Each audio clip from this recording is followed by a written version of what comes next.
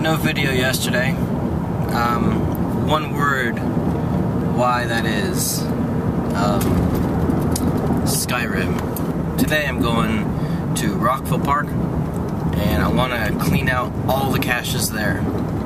Um, there's like seven or eight earth caches, there's two regular ones that I haven't found yet, and a, um, a multi. So I'm going to try and get all of them before it gets dark. Hopefully I can do it. Well, I'm here at the park learning about the earth, doing earth caches. Um, all these rocks, they're from a volcano. Volcanic rock, like basalt and other ones. But anyway, this area up here is pretty cool. It's called the quarry. That's just what they call it. But uh, it looks pretty cool. So here's a, a view.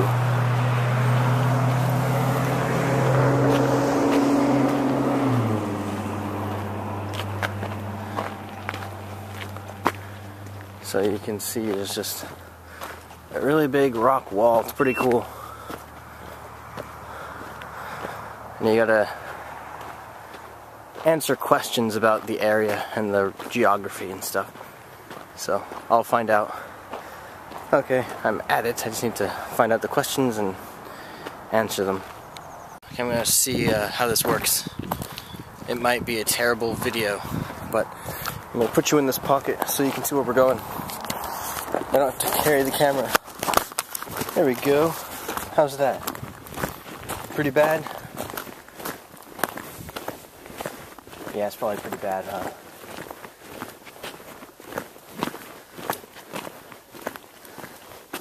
Well, I'm gonna check it out. Review footage time. Yeah, I won't be doing that again. It didn't work so well. Anyway, I'm going to the rock garden. It's that way. Well, this is interesting. I'm up at uh, the earth cache called the Rock Garden, and earth caches aren't supposed to have like physical cache containers. An earth cache takes you to a geological feature, uh, and then ask questions about it, and it's more about going to it and seeing, exploring the earth rather than finding boxes. But anyway, that's explanation of what an earth cache is. But anyway, there's no boxes at earth caches. But on this one, I found one. I figured it out. I opened the cache and I looked at the logbook and it had um, which one it actually was written down in there. And it was actually one that I had found a while ago, like a long time ago. A couple years ago I found it. And uh, so it wasn't on my GPS as one I hadn't found yet and it just happened to be really close to where the earth cache is. Normally you can't put a cache within a tenth of a mile, but with earth caches, since there is no actual box, it uh, doesn't matter how close it is to other ones. So, that's why. And the earth cache actually ends on that trail out there, but that was in the sun. So I came in here. Squirrel. Did you see that? Anyway, so I came into here and I saw this hole in the tree. I was like, oh, that'll be a good place for one. And, uh, it was. anyway, time to finish this earth cache. It's a little hard to tell where I am right now, but I'm basically on the side of a cliff. As you can see, there's rocks straight up and a long drop. That's not too far, but I mean, it would still hurt to fall down there. I'm standing on this little outcropping of rock and I need to uh, I've actually tried to find this cache before and I was walking around in those rocks and I just didn't find it so I left but I found it this time. I mean this rock is tall it's just, it's bigger than I am and uh, but now I need to climb back out. So I think you want to come on an adventure with me. So I'm gonna put you in the pocket and let's climb out it's not too much of an adventure. You're just climbing rocks. It's mossy and slippery. Yeah, it wasn't too bad at all, really. There we go. Made it. And also, I'll show you this other thing. This was that was a regular cache for an actual box. This one over here is an earth cache, and um, there's actually a mercury mine, and like it's not unexpected. I mean, whoops, it zoomed, didn't it? Whoops. Oh well. Anyway, mercury mine. It's all flat landscape, except down here. There's a big hole. it's like maybe 8 to 10 feet deep. Interesting. But anyway, oh yeah, I can show you. This is kind of a cool view out here. See, so there's this rock. Climb up the rock. You can look. You don't really get a sense of how high you are from video, but it looks nice. Yeah, looks good. Whoa, slippery. I'm gonna move away from the edge. I've lost track of how many I've done, but I have uh, one I couldn't find, which I told you about, Lower Lake Rocks, I think. It's um, it's I'm pretty sure missing.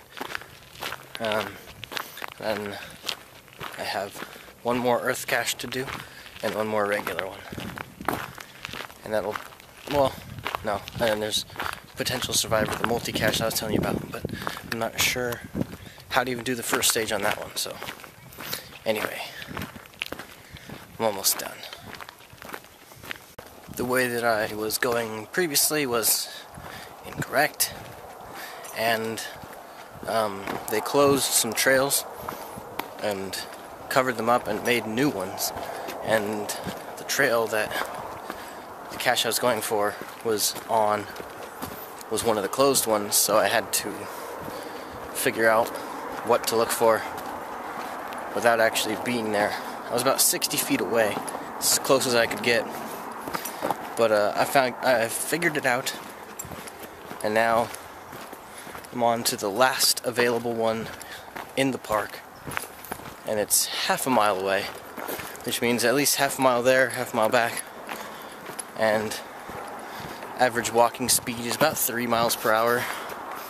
So it should take me 20 minutes, not including finding it. So, and I'm pretty close to the parking lot right now. So hopefully within about half an hour, I'll be done. Um, I'll update you soon. Actually, instantly. This hill is deceptive. It comes down, goes down here, and then there's a little hill right there. And uh, I've been here before with my mountain bike, racing down this hill as fast as I can, pedaling really hard, and then I hit this, and I didn't realize how steep it was, and then it drops off over here and I probably I was up in the air and at the time it was wet and this is a low spot and this was just all mud. So I jumped off that and landed about here right in the middle of the mud. It was mm, it was fun. Yeah that's the word I'll use.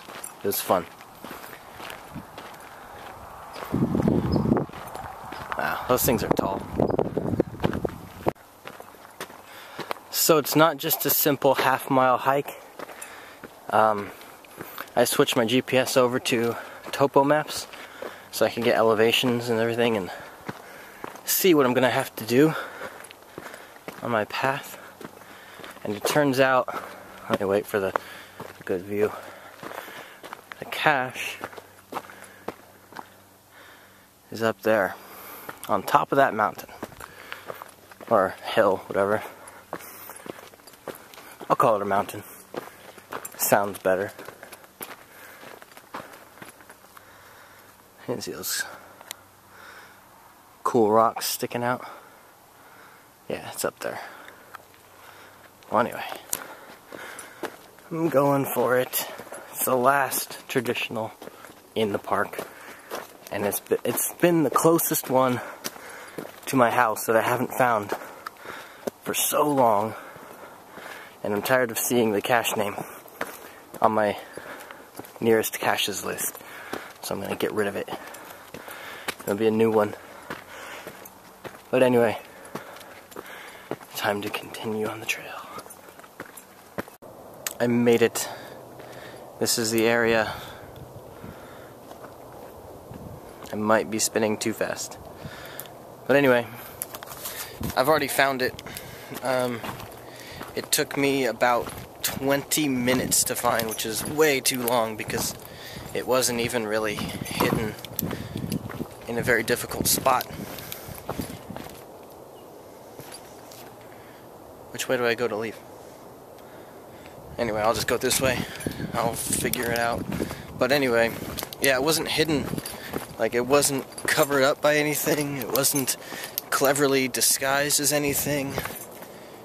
It was just in a place that you couldn't see unless you looked at it from the right angle. And um, there were lots of places to look and lots of angles to look from. Yeah, this way. So I, uh, it just took a long time to find the right spot, and then when you finally get into the right place and you look the right way, and you just see it laying there, you're like, oh, is. And it, you kind of get a sense of relief, like, oh good, it is still there. And I can find them, not blind. Anyway, this is very tricky to navigate while holding a camera. And I don't remember I don't remember walking up all these rocks. I might be going the wrong way. Oh well, we'll see. Yep, I went the wrong way. That blue dot on this side is where the cache is. And let me get the camera. Well, ah, it's hard to. Anyway, you can see my reflection there. But that blue dot is where the cache is, and that's me all walking around. I came from this green line here into it, and then I walked back this way, and that's where I am now. That blue arrow. Which means that as soon as I left the cache site, I made a wrong turn and I walked over all of these rocks for no reason. This is a pretty cool trail, though. This is one of the more technical biking trails, I guess. Yeah, I thought I didn't recognize this.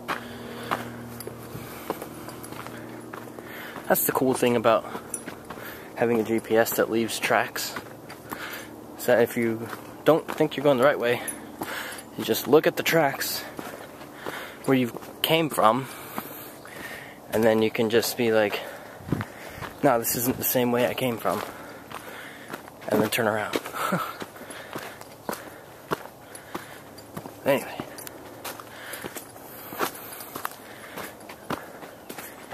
Actually, went pretty far off the trail, off the correct way.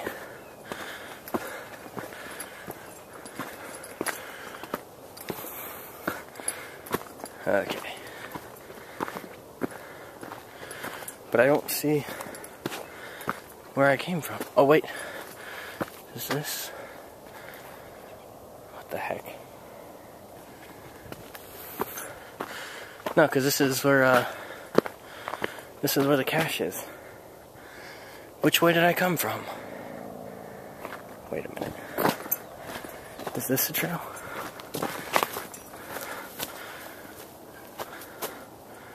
No. But it says I came from this way. I'm just gonna go this way.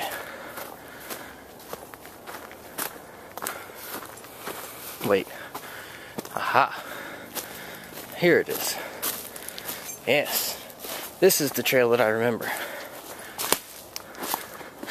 Going this way. Yeah, and then I just walked that way. So, this one Okay, got it. This is the way I'm supposed to go. Good. Now,